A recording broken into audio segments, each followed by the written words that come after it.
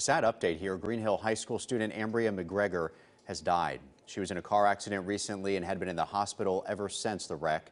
The Hermitage Church of the Nazarene shared the news on social media today. And early this month, Ambria was driving home from church when she hit a tree. She had extensive injuries and had been fighting in the hospital for her life ever since. The community recently held a vigil for her, too.